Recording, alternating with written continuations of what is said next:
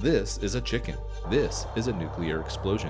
What do these things have in common? Hi, I'm Tim with the Connecticut National Guard. Stick around as we talk about Operation Blue Peacock, a British Cold War weapon with a unique design to prevent winter freezing. The political tensions during the Cold War introduced several significant military inventions that we still see today. Things like nuclear launch capable submarines, the AK 47 rifle, the rocket propelled grenade, and the F 16 fighter jet. However, for every noteworthy invention, there are dozens that were just too outlandish or impractical to make it into mass production. Blue Peacock is one of these inventions. In the 1950s, Great Britain was looking to develop a nuclear landmine to deter and prevent a potential Soviet invasion in Western Germany. The weapon's design allowed for the mine to be remotely detonated.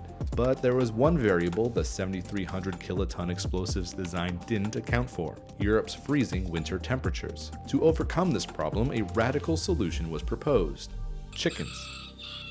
The proposal, as bizarre as it sounds, was seriously considered to encase live chickens with enough food and water to survive a week within the bomb so their body heat could warm the device.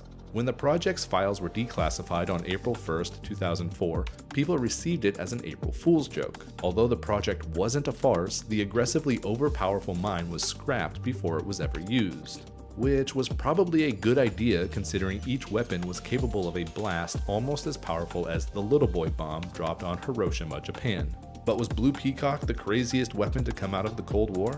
Let us know what you think in the comments, and let us know what other bizarre or outlandish military equipment we should cover next. If you enjoyed this video, please hit that like button, subscribe to our channel, and check out these other videos on your screen now.